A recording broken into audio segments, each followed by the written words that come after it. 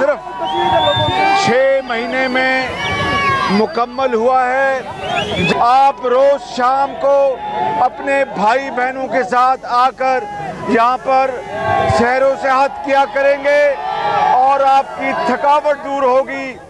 ये कहना था वज़ीर अला पंजाब मोहम्मद शहबाज शरीफ का, जो आज़ादी इंटरचेंज के मंसूबे के अफ्ताह के लिए सरकारी प्रोटोकॉल की बजाय निजी सिक्योरिटी में मीनार पाकिस्तान पहुँचे। उन्हें देख कर बड़ी तादाद में शहरी वहाँ जमा हो गए। वज़ीर अला ने शहरियों ऐसी एक सवाल भी किया। कि लॉन्ग मार्च पाकिस्तान को तरक्की देने वाला, पाकिस्तान को खुशहाल बनाने वाला, और ऐसा लॉन्ग मार्च चाहिए या पाकिस्तान को खराब करने वाला।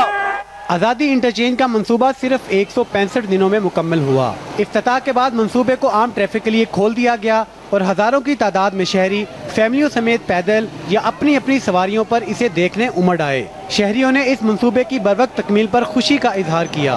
बहुत अच्छा लगा है कि पाकिस्तान की तरक्की हो रही है। इन चीज़ों से पहचान बनेगी हमारे पाकिस्तान की। पहले हुकूमतें सालों में करती थी अब दिनों में मनसूबे होते हैं। ये शबाज शरीफ की ये जितनी हमत अमली हैं ये बहुत अच्छी हैं।